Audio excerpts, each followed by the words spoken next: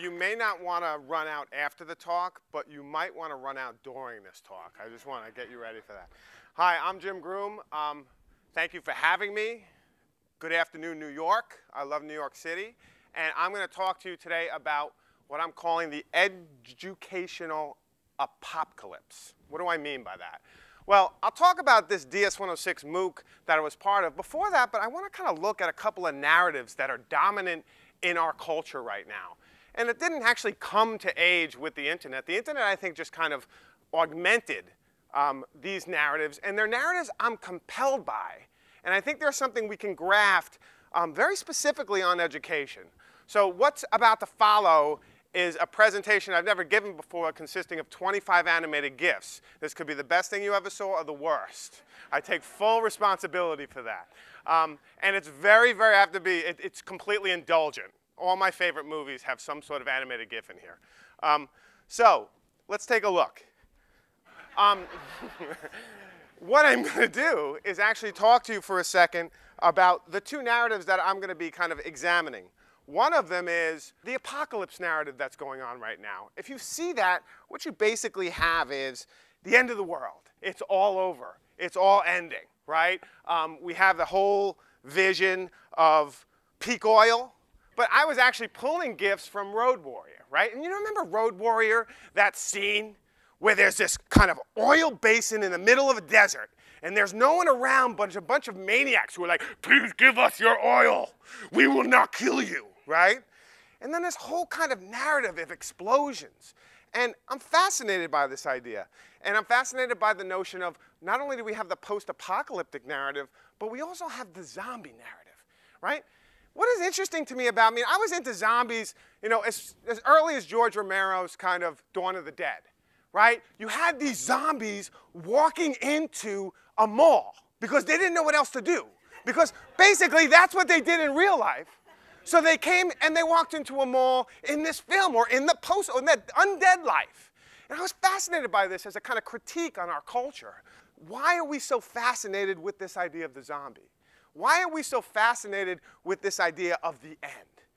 And what's interesting to me in some real ways is how that might map on the crisis logic surrounding education. Like the whole idea of no child left behind, right? This whole notion that 70% of schools now are failing. And why is that?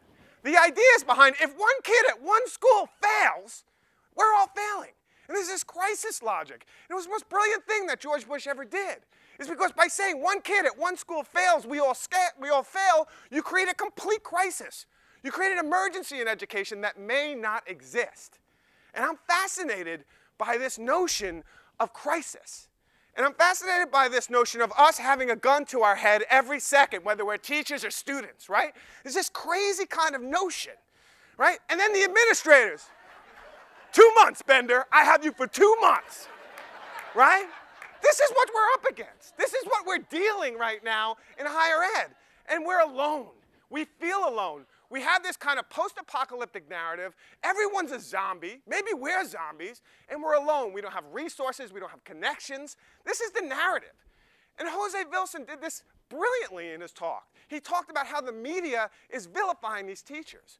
It's really horrific what we're doing to one of the greatest professions in the world right? And I think, yeah, exactly, for all the teachers.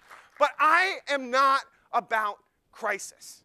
I think it's a scam, and we saw that with Occupy, right? We saw with the Occupy movement. They wanted us to label what is this that's happening, and we don't know. And once we label it, they can disable it. And I'm very interested in something else. I'm not going to engage the shock doctrine, right? I'm not going to give in to that. I want to think not about money, because I think the shock doctrine opens up the complete space for entrepreneurs to come in and redefine education and redefine what a teacher is and actually deprofessionalize this space. And that's why I'm afraid of it. It doesn't mean all corporations are bad. It just means I feel better when they're not around education. Now, we need to have a talk. Can we have a talk, please? Can we talk? What I want to actually talk about is I want to talk about not the crisis mode, but what's possible, right? We all saw this. Tupac's like, What's up, Coachella? And everybody's like, Oh my God, what just happened?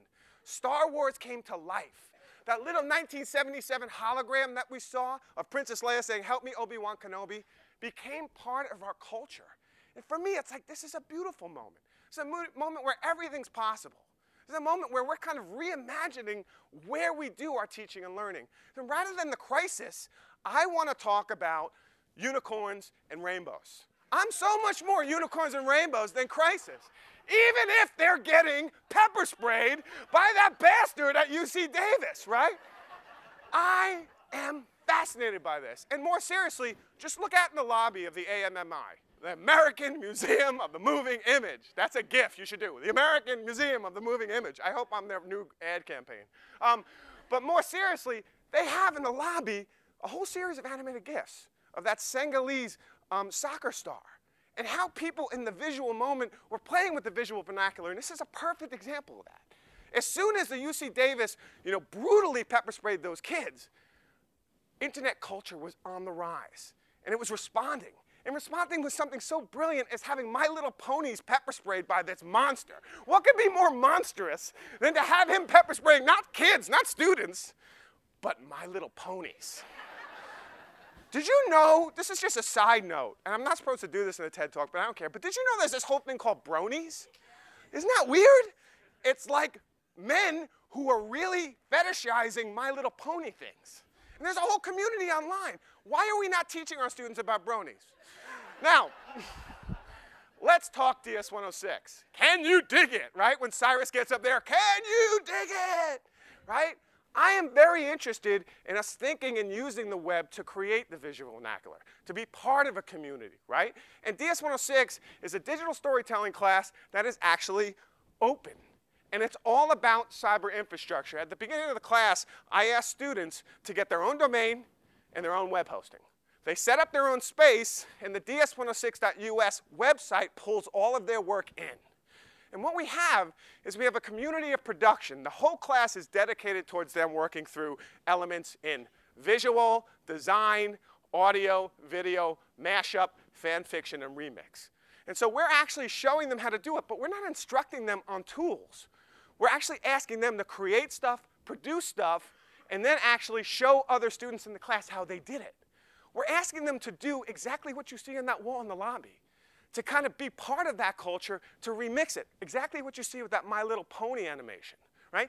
And this is that personal cyber infrastructure, that space that they own and they produce from.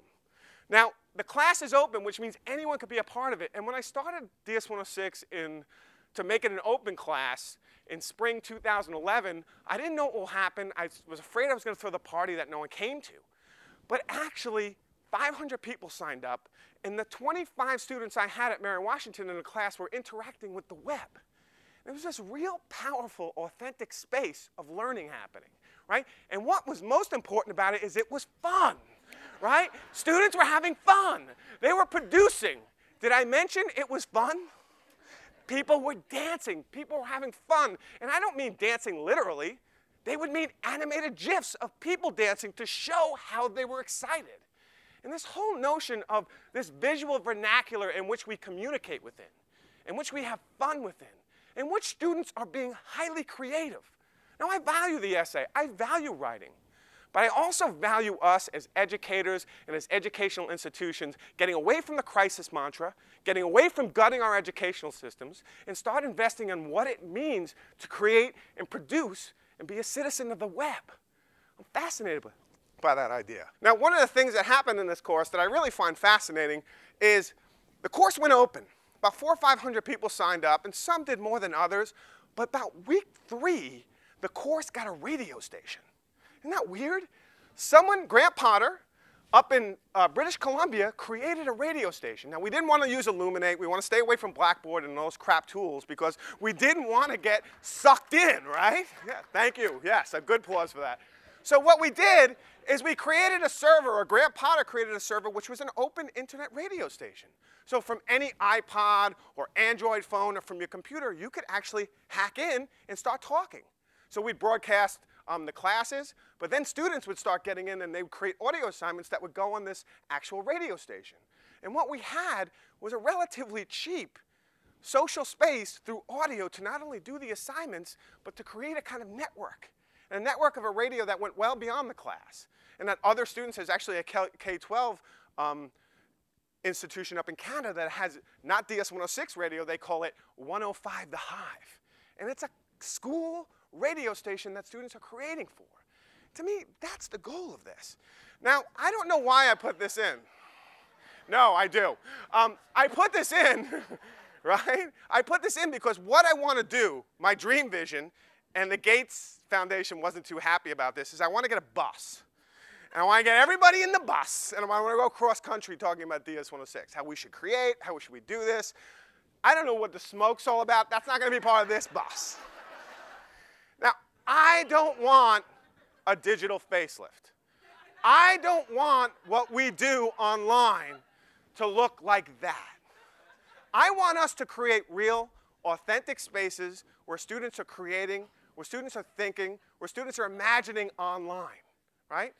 And that's really my point. Now, you've been so patient with me, I would like to buy you all a drink.